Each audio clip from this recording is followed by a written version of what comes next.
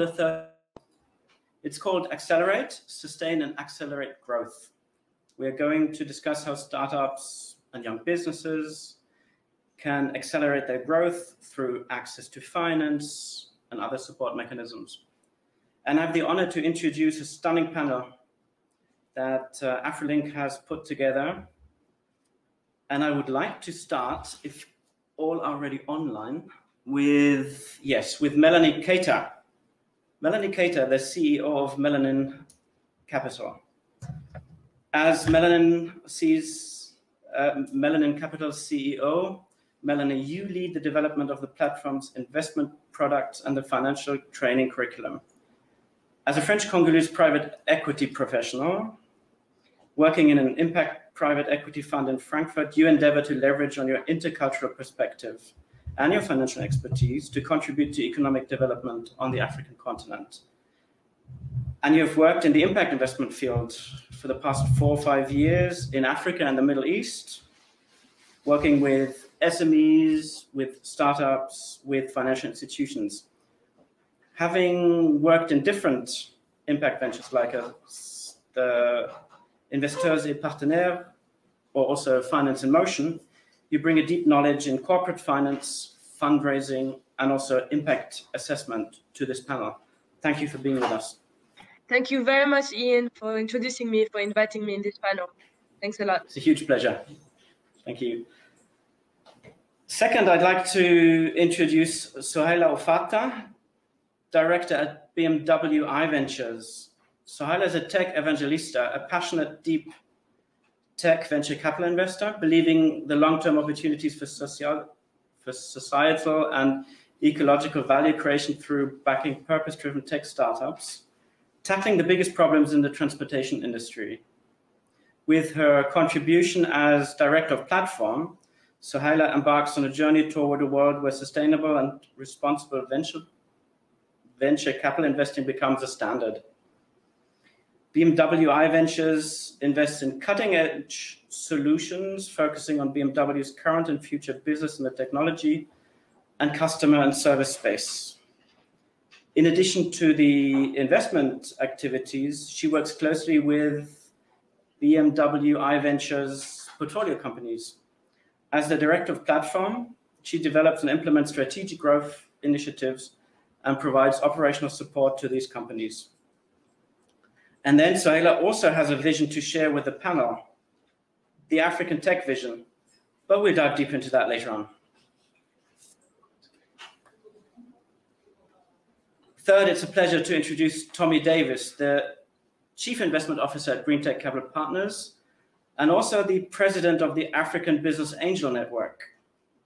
As a systems analyst turned tech strategy advisor, a public speaker, and angel investor, Tomi Davies is a collaborator in chief at Technovision. He's the co-founder of the Lagos Angel Network and also president of the African Business Angel Network. He sits on a number of boards, amongst them the board of Laptops for Learning in Nigeria, the World Business Angels Investment Forum, and the Global Business Angels Network. Early in his career, he led the implementation of innovative technology-led transformation initiatives in the oil and gas, the IT and the telco sector for really influential global brands like Elf Aquitaine, Marks and Spencers, Ernst & Young. But in 2000, he shifted his focus to Africa, where he helped to build the African Agriculture Technology Foundation or the One Laptop Per Child initiative in Nigeria, just to name two. Besides that, uh, Tomi Davies has also published the book, The African Project Manager. Tomi, welcome to the panel. Thank you very much. And last but definitely not least, I am honored to introduce Andreas Beckermann, Senior Policy Advisor at the BMZ, the Ministry for Economic Cooperation and Development. Andreas Beckermann, you have 30 plus years of experience in development cooperation including development finance. You're specialized on private sector development and economic policy. You head the working group of the Federal Ministry for Economic Cooperation and Development on economics, employment, and trade. which is also responsible for the realization of the Marshall Plan with Africa. And you also work on German contributions to G20 investment summits, as well as the EU Africa Business Forum in this year. But you also have ample experience on the continent. Having served the BMZ abroad for 12 years, you spent, I believe, large parts of that on the African continent, mainly in Morocco and South Africa.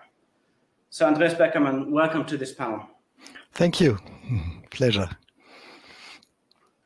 So, as I mentioned earlier, we're going to discuss the funding landscape.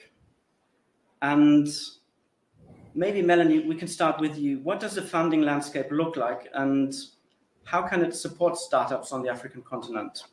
And maybe you can mm. also add roles that you and your partners might play. Mm. Uh, yes, thank you very much uh, for this for this question, Ian. It's true that uh, the funding landscape in Africa has changed a lot, uh, let's say, for the past 20 years, and we have kind of the result of a long evolution because at the beginning of the 2000s, it was completely uh, impossible for investors to, to go to Africa. It was a continent that was completely doomed, and only a few crazy fund managers were adventurous enough to invest in large companies, uh, large equity tickets uh, in, in companies that were one of the few. Uh, but after, I would say, uh, maybe 2008 after the crisis, we started to hear more about impact investing and how we could actually do more of investments, but also of development uh, in emerging countries. And Africa uh, kind of was the big winner of, of uh, those big words around um, development finance and impact investing. So what we see today is also a lot of uh, private actors, but also of impact investors that were then joined by um, venture capitalists, I would say a little bit after when the tech movement became really big. Tech was becoming the new, um, let's say, the, the new tool uh, to solve all African solutions. So we had more and more uh, fund managers getting large amounts of, of funding to invest in, in tech companies that can help Africa to kind of keep a level of development. And and today, I think uh, it is clear that we have um, the public sector that was here before through development aid and joined by all those private actors, impact investors, and venture capitalists. That's us trying to, to, to support companies in Africa at all, um, all the different stages, from startups to large companies. However, what we could say, what we can see still on the funding landscape is that there's still a gap uh, to support small startups and, and small un- un- enterprises on the continent. And that is why Afrolynk is actually putting together such a conference. Uh, yesterday, I was on the mentorship sessions with a lot of the startups, and they were telling me, telling me, I think there is no funding for Africa. We don't, we don't manage to get funding, but that is insane because, as as I just explained, like the funding landscape has been just been uh, developing and, and increasing bigger and bigger for the past 20 the reason why um, there are still startups and, and, and small companies that are still struggling to get access to that funding is, uh, in my opinion, is because all of the funds managers that came years after years, uh, thanks to also the support of, of, of, the public sector, are fund managers that have similar amount. They come with indeed uh, a large amount of funding and with the idea of supporting change uh, in the African continent but they have their own constraints. They have first the fund size constraint. When you have $100 million or $200 million to invest, you cannot invest small ticket sizes like 100,000 euros or 200,000 euros in, in small startups. However, this is what the startups need most of the time. They, they, they cannot absorb at that stage 1 million or $5 million. It is too much. So those funds are limited, first of all, because of their size and second, because also of all the criteria that comes with their mandate. They have to achieve a certain amount of, of return and um, and uh, in a certain period of time. And this impede them to kind of take some additional risk. And this is why we've seen from the German government, for instance, different innovations that they've put in place to kind of help this ecosystem and this funding ecosystem to support better uh, the startups on the ground by having what we call blended finance approach, so mixing public funding with uh, private funding and support the startups with innovative instruments. We've seen more and more in the funding landscape uh, projects uh, like the ones with the Investisseurs Partenaires based in Paris, in which they really try to support startups with recoverable grants, of uh, with instruments that are a little bit more flexible than the traditional um, equity instruments that we could have seen in the past years. And this makes a lot of sense to come uh, supporting the startups with those kind of instruments. Because if you look at a country like Germany, for instance, um, just to support uh, startups during COVID, I was amazed what kind of instruments and funds they managed to put in place to support early stage companies. They really have in mind that to start a business and to scale up, you need uh, more flexible type of funding. You need to have a loan with lower interest rate, and this is what KfW, for example, uh, proposes, or you need recoverable grounds, meaning that it's a loan with no interest at all, but you just pay back the money if your business is successful.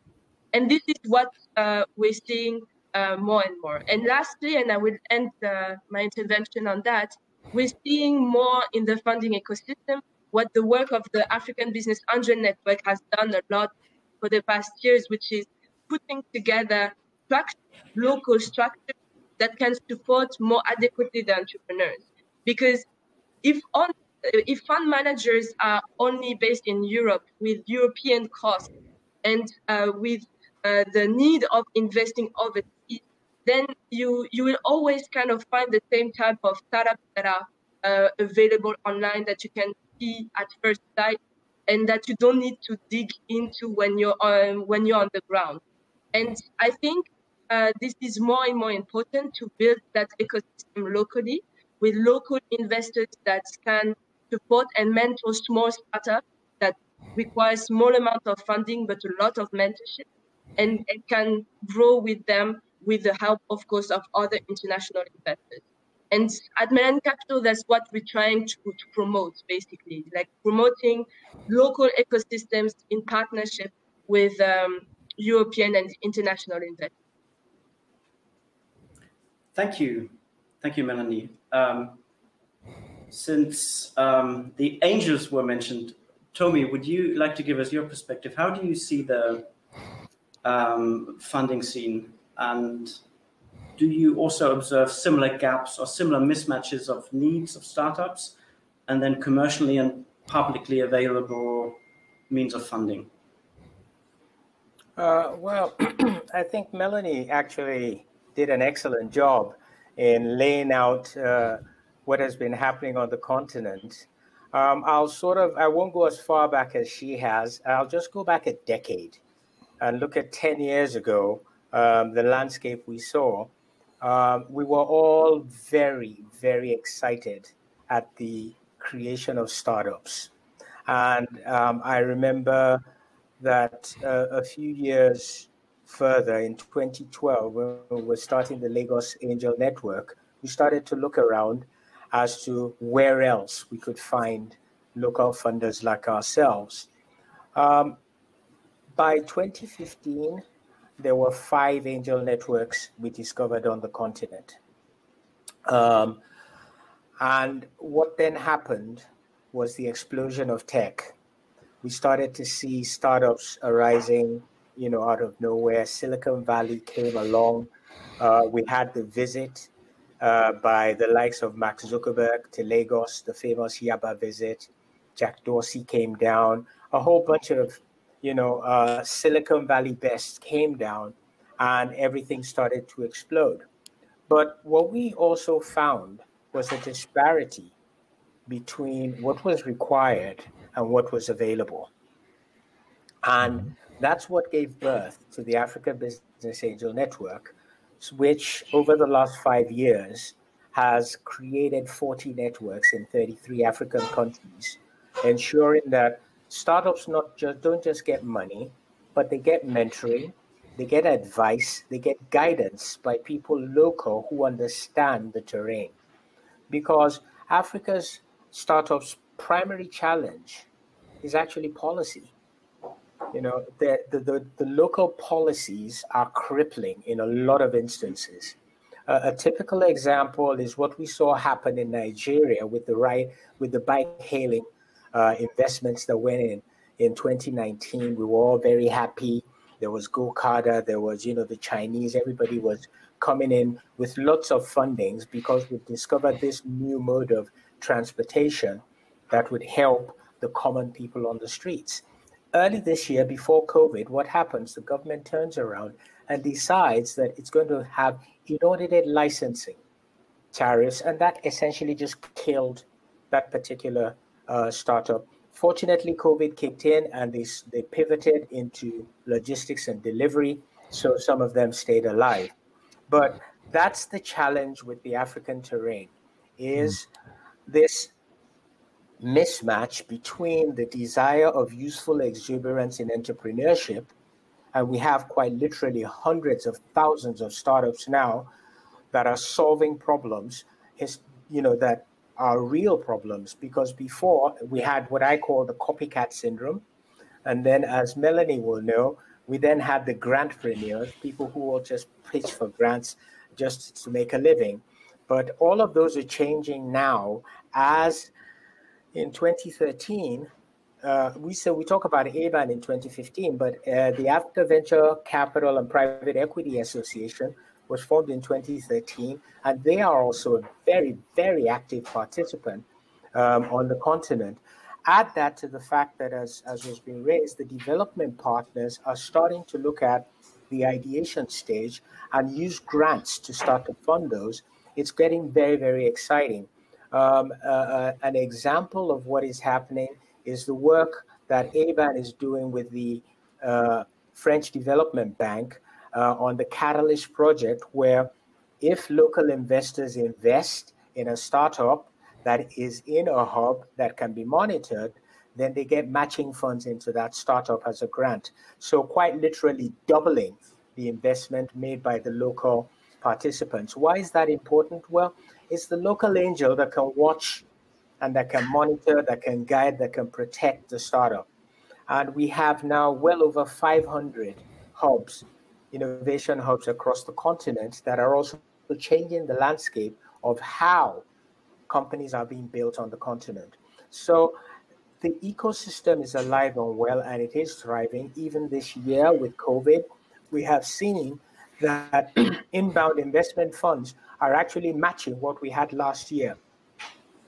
Maxim Bayern of our of our organization, Green Tech, actually monitored all all investments above a million and guess what? We've had over 70 of those this year already. But more importantly, we've seen nearly a billion dollars still going to Africa in investment this year into startups. Smaller ticket sizes, but much many more transactions. And that is a very, very dynamic landscape when you consider that just as far back as what let's let's just take 2016, 2017, we were in a couple of hundred million dollars coming onto the continent. So I'm quite optimistic. I'm very, very bullish with the attention people like Afrolynk is giving to what is happening on the continent, that we will continue to see the increase in startup investment. But more importantly, these will contribute to the economic development of the continent. And to me, that is what is really, really important. Thank you. Well, thank you. Thank you, Tomi. Andreas Beckermann, this might be a good moment to bring you in, um, since both Melanie and Tomi mentioned that they see a stronger presence of grants and blended finance and other state-funded instruments um, in the market, enabling investments of private uh, sector investors on the continent. And would you like to blend in there, explain you might be seeing because the German government does finance quite substantially private investments on this continent. And might you also want to explain why the German government is interested in that? Thank you very much.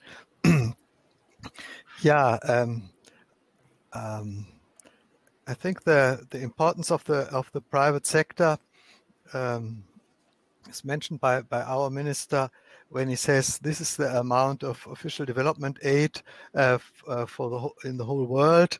It doesn't change much over the years, and um, it's even a small a part of uh, what is needed in in investment in in development, and um, for uh, traditionally we have the development finance institutions with a, a, a, public sector and the private sector arm. And we have to be much more agile and um, bring in more uh, products when we see those challenges which um, melanie and tomi which you um, um elaborated on. So um, um, i was present at last year's uh, conference and uh, we alluded to the G20 conferences we had in 2018 and 2019 when the uh, private sector investment was, was highlighted.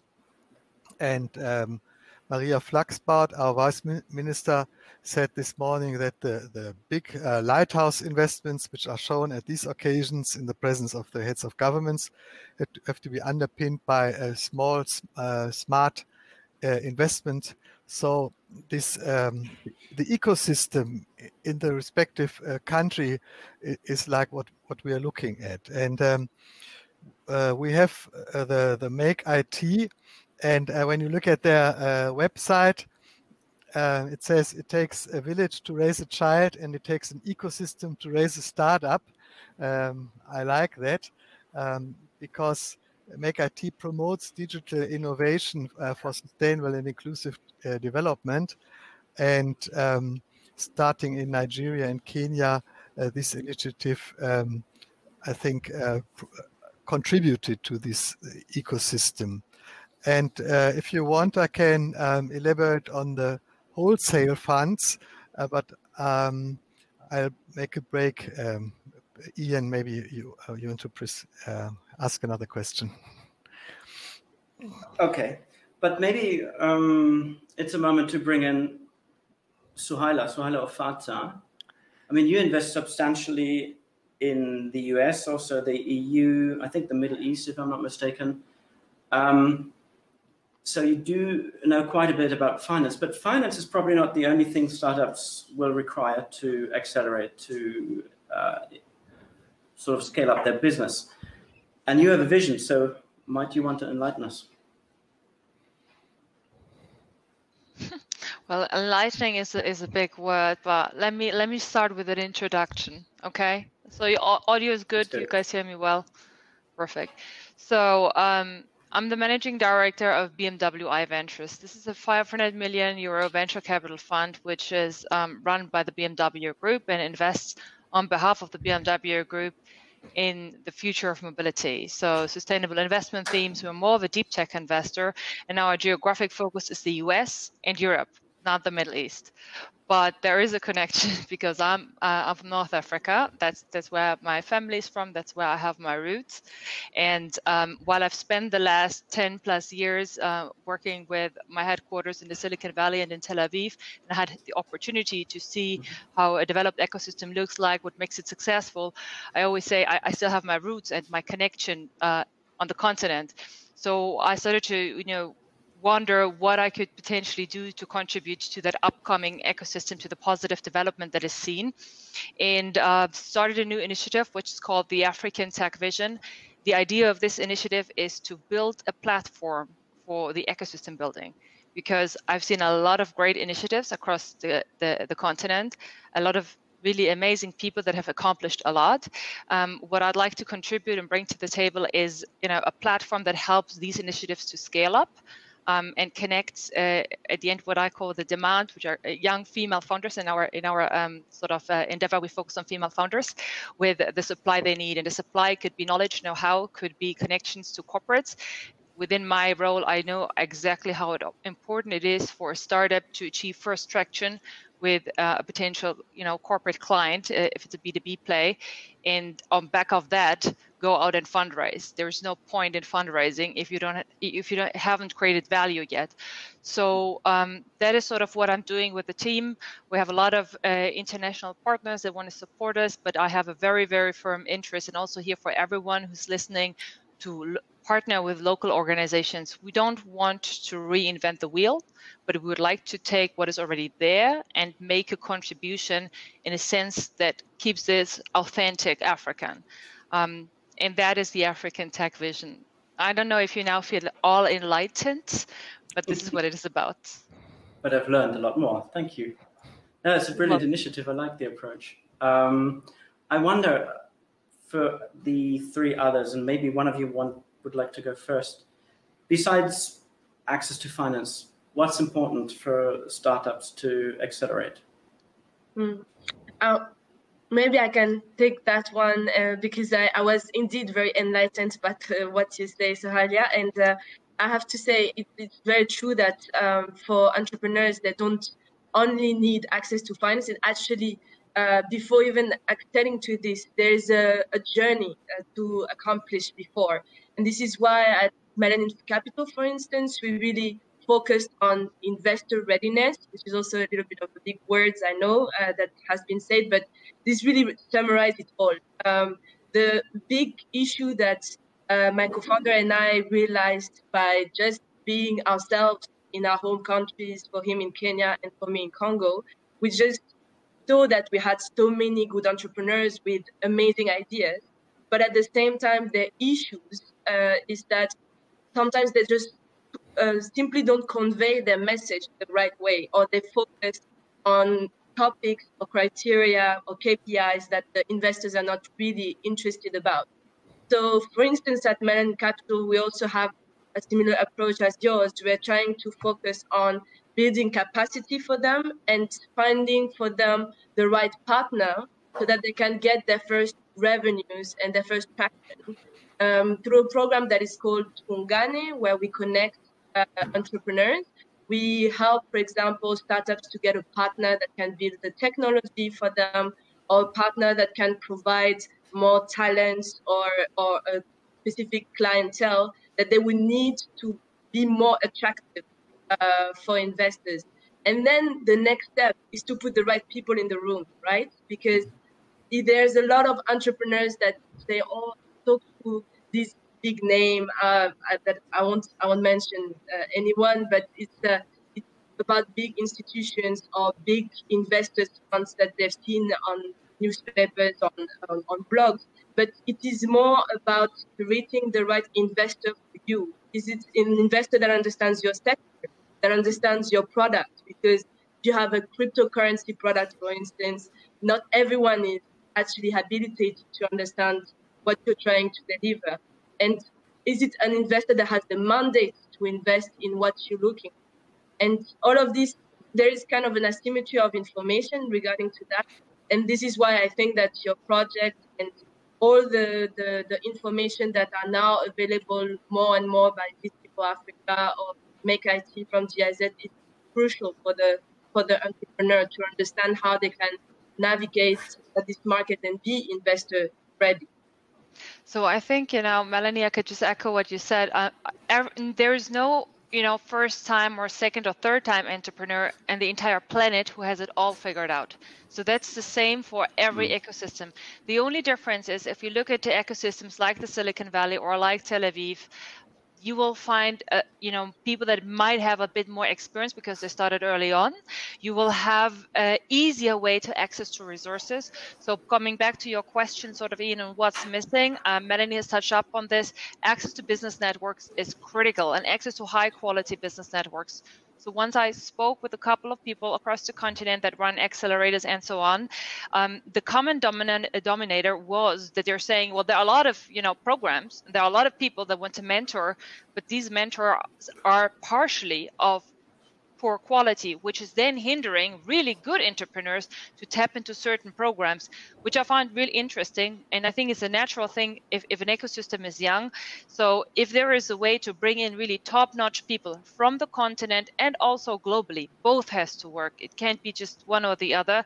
I think this is very helpful for all entrepreneurs specifically with the African Tech Vision, I'm representing female tech entrepreneurs. And for them, it's even harder to tap into the business networks because most of the networks are tailored to men and men needs. So this is this is what we would like to achieve. So when we speak about our purpose, we're saying we want to build and nurture the next generation of purpose-driven African uh, female founders and their ecosystem. And this is what it's about because there's so much potential on the continent. And to our believers, women are the backbone of the content. They are building up the content, contributing to society and community, but they're not participating equally in the upsides, in the economical upsides. And this is what we want to change. Thank you. Tomi, you surely have a vision on that. Yes, I do, and it's great to hear what Sohaila had uh, has been saying. I've got some awesome news for you. First of all, you might want to write this down. Rising Tide Africa is an all women's angel group out of Lagos, Nigeria. Dazzle is an all women's angel group out of Cape Town, South Africa.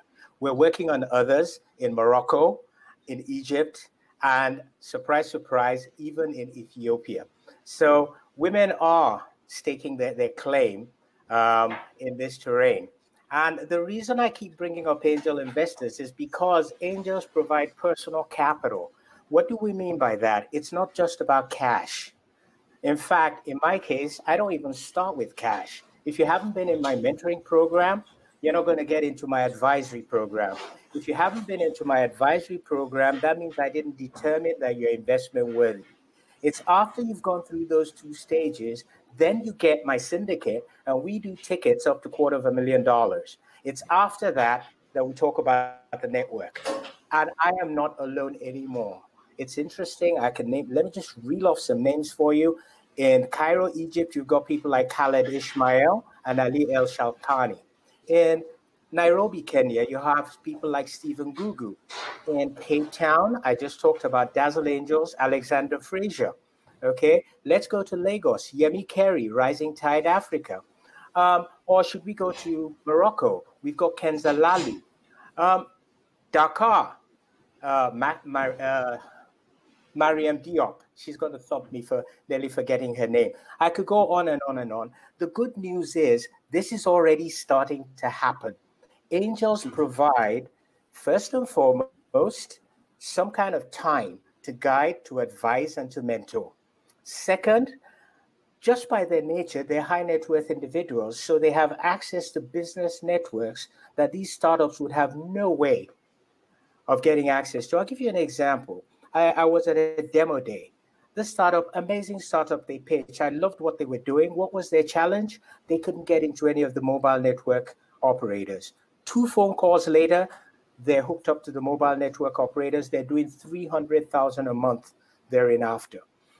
And finally, of course, it is cash. And with cash, we've now we're now syndicating.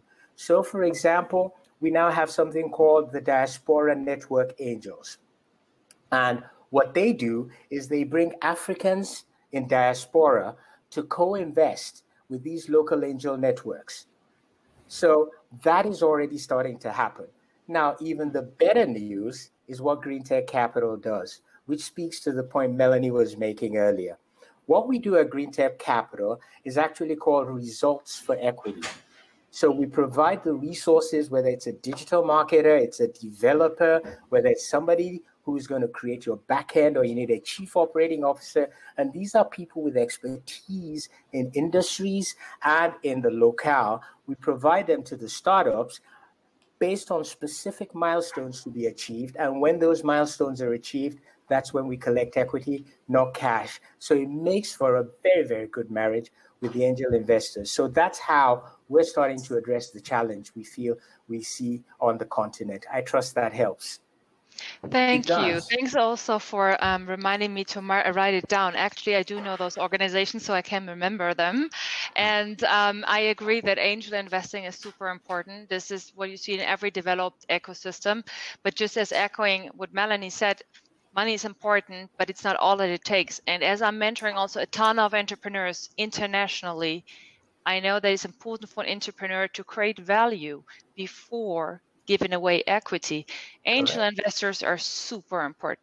specifically if they are well connected in the local ecosystems if they can open doors and if they have those business relationships, I couldn't agree with you more. But I think it takes a lot of layers.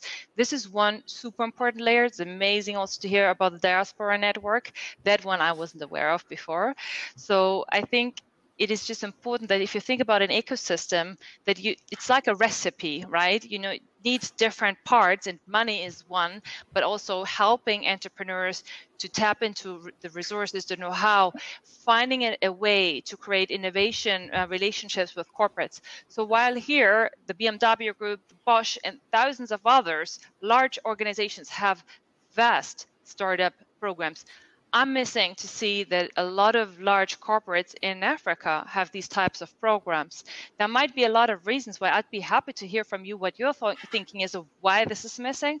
But this is definitely a part of the ecosystem building if you compare it to other ecosystems that creates value for the founders. And it should be not as hard tapping into these resources. I always ask myself one question why can a little boy or little girl aged 12 in Silicon Valley or in Tel Aviv sit back and dream their entrepreneur dream. It's it's natural to them because they are in a large ecosystem. Everything is accessible, and that same self-confidence should have every African young girl or young boy. And just thinking of the problems they might see around them, come up with creative solutions, and just seeing themselves as an entrepreneur. And this takes multiple layers. As I said, it's a recipe. It's not just one ingredient. I, exactly. Uh, Andreas. Yes, uh, sorry. Uh, Andreas Beckermann. I'd like to come in on uh, the uh, the point Tomi raised earlier on the local uh, policies and some of them even getting uh, worse. So um, you're describing now the ecosystem and and the ministry cannot can will do some refinancing in whole, wholesale, um, but we can also have partnerships with the countries um, talking about the in investment uh, conditions. It's like um, showing the partners a, a, mirror how it actually um, uh, how their policies uh, work when when it comes to individual uh, investments. And for this, we had this um, approach with the uh, G20, and um, we had these two conferences, and we had commissioned the IFC, the International um, Finance Corporation to, to do studies, and all those studies are available online. On the uh, conditions uh, privates uh, face in in the countries, and um, and there's some sort of um, uh, com uh, competition, and I think it's uh, good that um, we can work on those policies because at some point, um, even angel investors with good networks come to um, come to their limits when, for example, uh, uh those tax uh, those unforeseen tax rises um, dis disturb the system. So I think there there's also a role, and we have some uh, partnerships, and they have to be long term, otherwise they don't work um, with African countries on private sector um, investment conditions. Back to you. Thank you. Andreas Beckermann. This may be a good moment because we learned that there's a lot to be written down, especially for the participants in this conference. A lot of new insights, a lot of new leads. What you could also write down, though, are the questions that you might have to your panelists, because I'm going to do another round with my dear panelists, and then I'd like to bring in questions of the audience as well.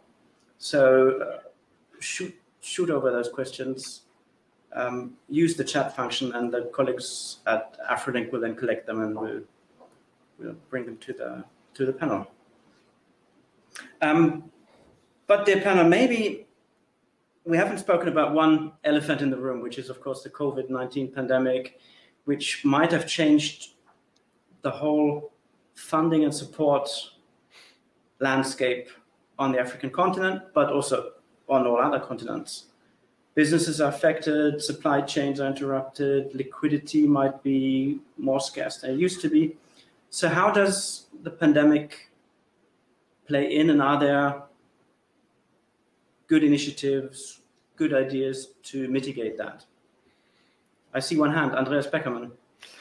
Yes. Um, So when the uh, pandemic uh, hit um, and we were going into a lockdown, uh, um, we were reprogramming uh, funds, and I learned uh, one lesson that um, in a crisis you can only use the instruments you have developed in good times, and then uh, try to augment uh, the amounts available to them. There's no, no use at all to start something new when everybody's in crisis modes and communication takes longer. So for us, it's very important to have um, the, uh, the local um, meaning uh, in different African countries or in different African subregions, uh, those uh, uh venture capital uh, companies, those investors, and then we can ask them um, what, what, they need. But we could not build new structures. And luckily for Germany, it's true for some other European countries, not for all. Um, our parliament gave us more money so we can do more to fight the pandemic whereas um, in other uh, other private investors uh, became more reluctant. So those structures which which we had, uh, we could um, refund uh, them, so increase the amounts, uh, but we couldn't build new ones. What's what are your other experiences? Let me just chime in right here. Um, so post COVID, we've seen in the press a lot of conversation around resilience that we need resilient supply chains, resilient infrastructure. What I typically um, say if people talk about this is that they should, you know, put you know uh, put their focus and shift towards the continent because they're actually the most resilient entrepreneurs and probably business angels as well that you have ever met and that's super interesting because this is now becoming a skill set sort of a, a mindset that is being published everywhere. Everyone talks about it and wants to understand it. And I think there are new opportunities coming alongside with the shift um, in the mobility space. I'm representing um, the mobility space. I can definitely say that there are new business models on the horizons. There are existing business models that have to adapt, but there might be also new opportunities. One quick note here um, is I had an interesting conversation uh, with the representatives from the MIT, and uh, interestingly, when you look at the US now, you see all those Ivy League schools and you see that the registration numbers are dropping because people are saying, okay, I'm probably not going to spend that much money for just all virtual class. And um, these organizations are right now looking for valuable content and valuable experiences to their, you know, MBA students and so on. And I pitched to them, said clearly, you should do more in Africa because these will be the smartest, most resilient entrepreneurs you've ever met. So um, it's just a small side note, but I do think given the challenges that there are at the moment and given the fact that you know it's not comparable to um, situation in Germany where there are tons of governmental grants which are now pushed into the ecosystems. It's insane. It's 200 billion new uh, um, years of debt only this uh, next year and uh, over 100 this year. So when you know entrepreneurs keep on whining here in, in Germany, I always tell them you have nothing to complain about. You're still doing really really good. And um, I have confidence uh, in, in the continent and that there will be a lot of uh, smart uh, entrepreneurs that come up with new um, solutions given the current situation. Thank you for that confident outlook. Mm. Melanie, you will also have well, experienced yourself how the pandemic has changed life both for investors and investees. Yes, absolutely. And I wanted to, to echo to what so, Sohaila has just said, because we've seen with COVID amazing business models emerging. Uh, that was the, the opportunities that came with that catastrophe. And uh, for instance, we supported uh, startups that helped uh, pregnant women uh, during COVID getting access to, to healthcare after a curfew hours called Wheels for Life in, in Kenya.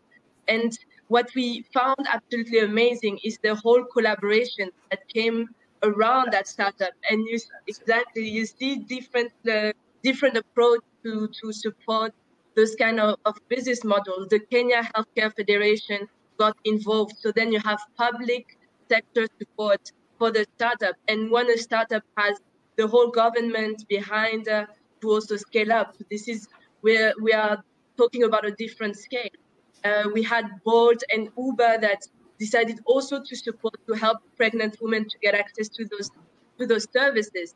So then you also have corporate, as uh, Sohaila was saying, which is much needed. This support is really needed for the startups that are coming on board. And then for an investor, for a business angel, it is much more com- like comfortable for them to come and invest. And we saw on the investor space really different ways of, uh, let's say, investing during this pandemic. Because of course we couldn't go on site, we couldn't go do market visits, uh, see all the startups in the incubators, shake their hands, verify their technology, verify their files. Uh, we couldn't do our due diligence, so we had to rely on an ecosystem local with experts that can that could um, give us a little bit more guidance about how it is going on in the country, with experts that understand the public sector locally, and that's what that is really and really important. And then it became much more easier for European investors to just do the investment through Zoom and through video conference.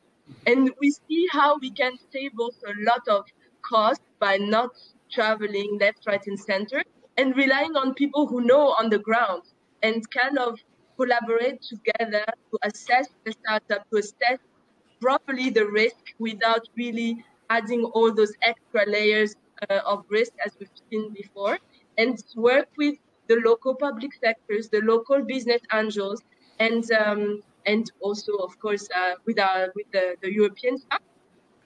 It works really well. Mm-hmm. Good. Good. Tomi. Yep. Yeah. Um, what can I say? They've, uh, you know, So Sohaila and uh, Melanie have said it all. Um, but here's the thing: change is the new normal. Okay, that that that you can take for granted. Okay, it's COVID today. It's going to be something else tomorrow. What we've discovered is what we why we've been trying to change, get people to change. Okay, um, and that hasn't really happened look at what COVID has done to the world. We've moved from islands of excellence to systems thinking. All of a sudden, people are realizing, okay, that collaboration is the way forward. And it is those who seek advantage in adversity, not just doing risk mitigation, but actually create advantage, okay, by rapid adjustment and adaptability. Those are the guys that are winning. Okay, experimentation has become a standard operating procedure. Who would have thought Thank that? you. You know, who Yeah. would have thought that? And now it is those whose corporate cultures, who have developed cultures that have learning as the center of their ethos, those are the guys that are winning.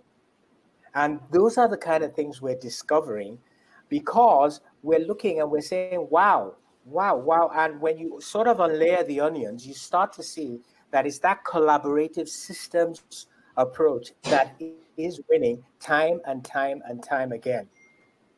So that's the little bit of nugget I just wanted to uh, add to this particular conversation, and I trust that helps. Thanks for that nugget. Yeah, I think We, that we works, actually have that works in a, uh, in a liberal uh, country, and I think um, the experience you're making in this fast-changing um, environment of, of financing uh, startup companies, there needs to be a, a feedback loop to the regulators. Some countries really want to um, um, su- support uh, this this um, ecosystem, but the regulators uh, need information of this uh, fast changing. And when we look from Berlin, uh, trying to uh, to refinance funds on the African continent, um, there needs to uh, be a lot of aggregation. So um, the information we, we cannot process information on 55 uh, country, individual countries, but we uh, have to learn the main uh, uh, trends and um, what is how financing is changing. So when it's fast changing, you're lucky in a liberal country, but otherwise you, you have to take the, the regulator on board with you. Yeah, taking the regulator on board typically is something which doesn't help for speed, but I agree it's important. Um, but sometimes you just got to do lots of things in parallel. So, for all of the entrepreneurs that are listening right now, I think this is a very unique opportunity where you have business opportunities, partnership opportunities, not just with, you know, obviously. Um, potential clients, but also with a lot of international, very successful startups. So, what my prediction is, we have seen a shift in the entire financial ecosystem towards catering to ESG, economical social governance uh, criteria. And this is also um, sort of a measurement framework which is now hitting the venture asset class very uh, massively, which is why a lot of venture funds are now looking into that direction. So while at the beginning of the year you, you had a lot of traction on environmental causes and in Davos everyone was speaking just about environmental causes, how to reduce CO2, which is all extremely important. My prediction is that um, after the pandemic, there will be more a focus on the S, the social part, because there are a lot of entrepreneurs that now use their technologies and their capacities to contribute in a positive way to society.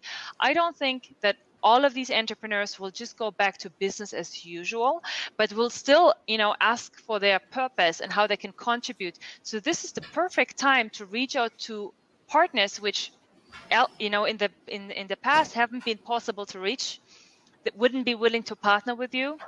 And as melanie has already said now everything is digital. So there is no the, the, disadvantage of being disconnected from a very active ecosystem is a lot uh, less uh, relevant now that everything is digital and everyone can be connected at all times.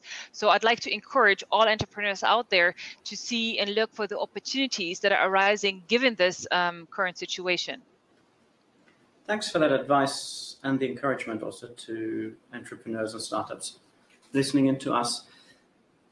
We have one question of Daphne, it blends well with the question I already had prepared, which is if you can give any concrete advice to startups, um, and and that's Daphne's strong wish, and I share that. It's a good one, um, especially for those startups that are not based in the usual hotspots.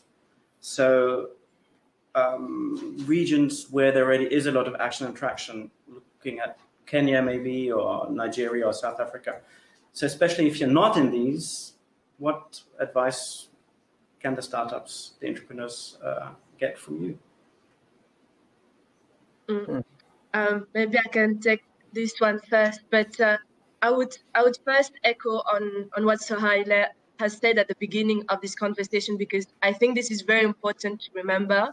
Um, you have to focus first on creating value and getting that traction before going for the money and going for the investment. That would be the the first uh, the, the first advice.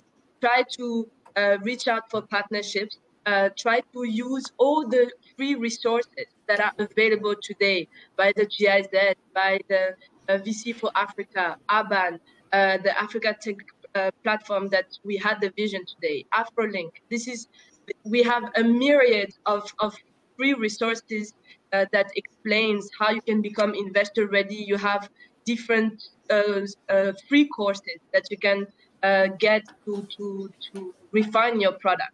So that, that would be the first thing. Second, once you have actual traction and actual revenues that you manage to generate, uh, be very selective with the mentors and the investors that you're looking for. Because it is not because the person has the money uh, and um, I've seen this a lot of time uh, in in Francophone Africa, where indeed we are not the the hotspot yet uh, uh, in some countries. Uh, it's not because the person has the money that it, it needs to be your. It, does he understand your product? Have you done your due diligence also on his investor? Where is the money coming from? Is he um, is he very transparent with you regarding uh, the investments that he's providing to you? Uh, what looks like a very huge opportunity today might be a disability tomorrow. And in investors like a marriage, you need to make sure that uh, you have selected the right person that can help you grow and that can open the right doors uh, and uh, and not be a disability later on when you will raise funding from other institutional investors. So that's that would be the two big advice I would like to the entrepreneurs that focus uh, and look at look at us today. Great. Other nuggets of advice.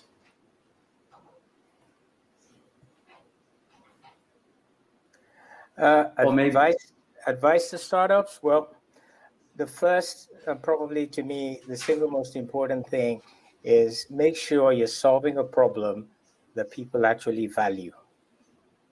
Okay. The more people that value the problem you're solving, okay, the easier it is to find accomplices along the way.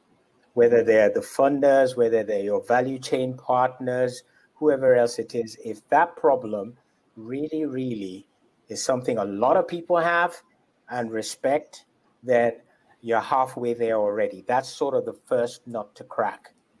The second is what Mel- uh, Melanie was saying be very selective in who you take on the journey. Okay? Investors, employees, partners, they're all coming on the journey with you. You've got to know that they can go the distance. See every relationship like you would a marriage. Okay? You don't propose to every person you meet. It's the same way, okay, when you're building a startup. That applies. And I don't care. Yeah, they've got millions and millions of dollars and you're broke. It's not the point. The point is, are they good enough for you for the length of the journey? Those would be the things I would say to any entrepreneur that's listening. Okay? Be sure you're creating value. Choose your partners wisely. Thank you. Well, thank you. I'd like to add one more very pragmatic um, advice is make sure you have a good lawyer. No. and accountant. Yes. Yeah, that, that happens to entrepreneurs all the time. There's nothing worse than for an investor who finds a cool company and then, you know, looks into their legal work and it's all messed up or you have a messy cap table or whatsoever. Make sure that you understand what your lawyer is telling you so you know exactly what the terms of the deal are. Because in difference to a marriage so i always also compare vc to to being married and uh, m&a by the way to to getting a divorce. Um, but with a marriage, there might come a contract. In many countries, there are no contracts, but the contract does not have so many terms that will ru- ruin you later on, take all of your equity, and potentially not make you uninvestable. So take that legal part super serious. There are a lot of resources that can be used in order to get a sort of better understanding. Um, even if if there are no standards within your ecosystem, go and look for other standards from other associations. Um, there are venture capital associations worldwide if you have a good uh, angel investor like Tomi, he's the person who can connect you and, and tell you exactly uh, what you should be, you know, um, to pay attention to because this can really damage everything. I mean you could you could be super smart. You have the brightest idea. You have you're solving a problem that people need. You build up value and then want to bring in investors only later. But if your legal work is not good you will not succeed. Good point. That's good advice. Thank you Thanks for that, Sohaila. Unfortunately, I have to go. It seems our time is nearly done. Can Let's we wrap maybe it up. Thank can you. we maybe wrap it up with one indication of, and in a sentence or two, a new trend or a new tendency that startups have to be aware of, um, so they can take one more note in this discussion. I do it quick. Health tech, obviously, and education. So ed tech, health tech, and ed tech are super hot places to be in for very obvious reasons. People are now going paranoid on health. There's a lot of money put into health, and everyone, when it comes to education, wants online services. So these are two great areas to uh, launch and uh, grow a company in. I will add uh, green uh, green finance. So investors um, uh, look into uh, green investment opportunities. You have mentioned the ESG uh, criteria. Uh, so um, green finance is one of those uh, trends. Thanks. Go ahead. Tomi, um, uh, I, I'm, I'm thinking because we already had so many ideas, and in, in general, I, I agree with what has been said. But uh, um, I would say, in general, if uh, if you're not able to do uh, your business remotely at the moment, uh, it's going to be very difficult. So just think COVID and resilience first, and that's definitely something that will support you uh, in your in your growth and your fundraising.